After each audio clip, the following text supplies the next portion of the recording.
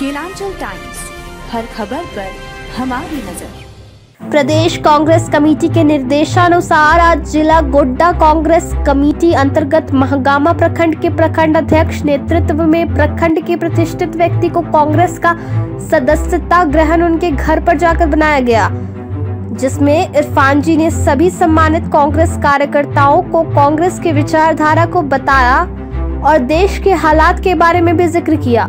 साथ में वरिष्ठ कांग्रेसी विपिन बिहारी सिंह जी, एनएसयूआई जिला अध्यक्ष मुन्ना ज़ाहिर जी नवल किशोर श्यामराम, विकास सिंह, ललिता जायसवाल, महिला रंजना झा, दिलीप रविदास मौजूद रहे।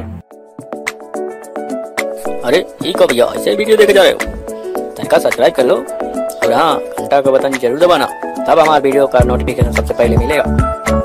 यहाँ वहाँ का देखा तो हम तो का ही काट रहे हैं जल्दी दबाओ